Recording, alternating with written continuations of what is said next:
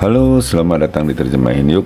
Kali ini kita menerjemahkan buku bahasa Inggris kelas 11 halaman 95 yang mana berisikan tugas yaitu bukan tugas ya, tetapi sebuah uh, puisi yang berjudul berjudul Dreams, mimpi-mimpi oleh Langston Hughes. Nah, ini dia terjemahannya. Berpegang per berpegang teguh kepada mimpi atau impian atau mimpi-mimpi.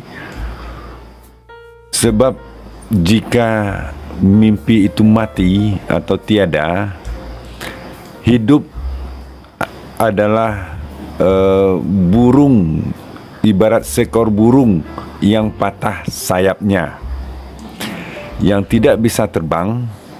Ya yang tidak bisa terbang berpegang teguh pada mimpi. Sebab jika mimpi itu pergi hidup bagaikan ladang tandus. Beku oleh uh, salju atau beku seperti salju.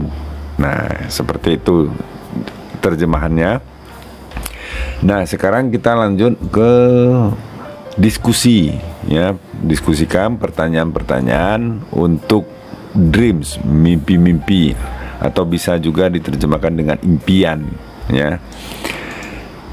Nomor satu,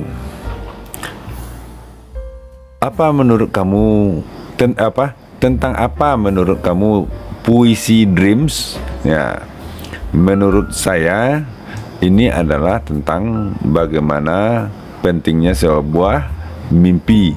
Kalau sekarang eh, mimpi-mimpi itu boleh dikatakan sebuah cita-cita, ya. Nah, setiap orang, apalagi kalian yang masih remaja, harus mempunyai mimpi dan uh, ber, berjuang untuk me, meraihnya, ya karena dengan mimpi itu uh, kita bisa memiliki kekuatan untuk hidup karena punya tujuan. Hmm. Nomor dua, menurut kamu mimpi itu bisa direalisasikan? Tentu saja bisa di, kita realisa, realisasikan dengan syarat kamu punya satu mimpi atau impian atau cita-cita kamu kejar dengan kerja keras, dengan kerja cerdas, dan uh, tetap fokus terhadap mimpi tersebut. Apa cita-citanya, ya? Sehingga kamu memilih jalan untuk ke arah sana.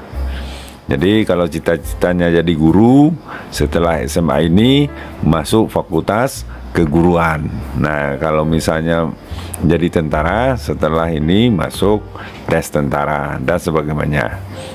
Nah, nomor tiga, apakah kamu setuju dengan Langston ketika dia mengatakan bahwa itu bahwa hidup itu seperti uh, burung ya yang tanpa sayap jika kita tidak punya mimpi? Ya, ya saya setuju sekali. Nah, ini diskusikan ya Setuju sekali dengan pernyataan Langston itu bahwa hidup kita itu harus punya mimpi. Karena kalau tidak ada e, mimpi atau sesuatu yang ingin dituju, nah ibaratnya adalah e, burung tanpa sayap yang tidak bisa apa-apa.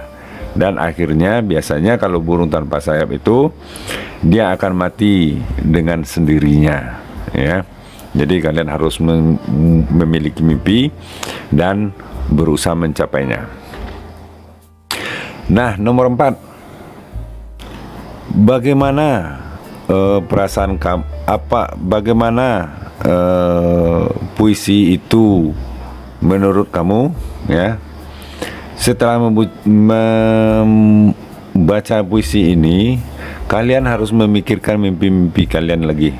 Men me, apa namanya ya mereview ulang ya apa impian kalian yang perlu yang bisa kalian raih dan benar-benar ingin mewujudkannya.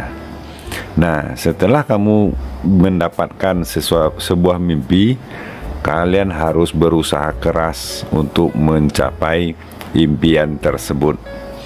Nah, nomor lima yang terakhir, menurut kamu apa yang ingin disampaikan oleh puisi tersebut? Apakah kamu setuju dengan apa yang disampaikan dengan puisi tersebut? Berilah alasan-alasannya. Nah, menurut saya, ya, puisi ini uh, dia memberikan gambaran atau pendapat bahwa uh, kita puisi itu sangat penting dalam hidup kita karena dengan adanya puis, uh, adanya dengan impian tersebut atau cita-cita tersebut hidup kita memiliki tujuan hidup nah tentu saja kita setuju ya dengan apa yang disampaikan oleh uh, penyair bahwa kita harus mempunyai mimpi dan kalau tidak punya impian seperti burung yang patah sayap.